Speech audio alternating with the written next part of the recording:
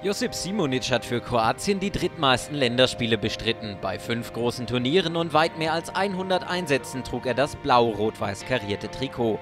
Aber der Ex-Spieler von Hertha und Hoffenheim wird nächstes Jahr wohl nicht im Flieger nach Brasilien sitzen. Er wurde gesperrt und das gleich für zehn Spiele. Simonic hatte nach geglückter Qualifikation faschistische Gesänge in der Fankurve angestimmt. Der Innenverteidiger von Dinamo Zagreb rief für das Vaterland in ein Mikrofon und die Fans antworteten bereit.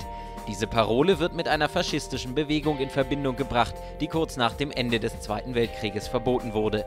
In einer Stellungnahme sagte die FIFA, die Parole sei diskriminierend und beleidige eine gesamte Gruppe von Menschen.